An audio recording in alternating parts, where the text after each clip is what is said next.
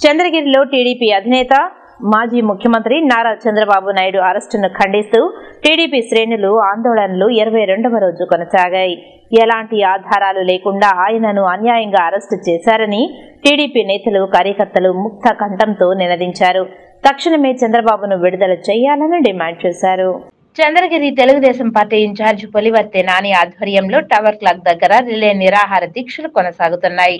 ఈ సందర్భంగా పులివర్తి నాని మాట్లాడుతూ వైఎస్ఆర్ కాంగ్రెస్ పార్టీ ఒక్క చంద్రబాబు పైనే కాకుండా చంద్రగిరి పుంగనూరు తంబళ్ళపల్లెలో ఐదు వందల మంది టీడీపీ నాయకులపై అక్రమ కేసులు బనాయించారని ఆవేదన వ్యక్తం చేశారు.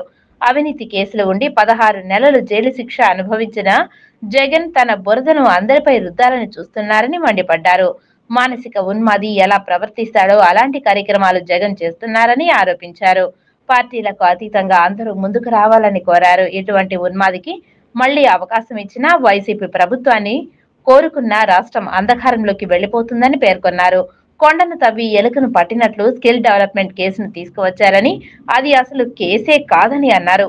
అలాగే లేని ఇన్నర్ రింగ్ రోడ్లో అవినీతి ఏ విధంగా జరిగిందో చెప్పాలని అన్నారు. టీడీపీ నేతలపై కేసులు పెట్టేస్తే లోపల వేసేస్తే ఎన్నికలు ఏకపక్షంగా చేసుకోవచ్చుననే ఆలోచనలో ఉన్నారని అన్నారు. ఇది ఎన్టీ రామారావు స్థాపించిన పార్టీ. ఎన్ని కేసులు పెట్టినా ఎంత మందిని జైల్లో పెట్టినా ఎవ్వరూ భయపడరని అన్నారు.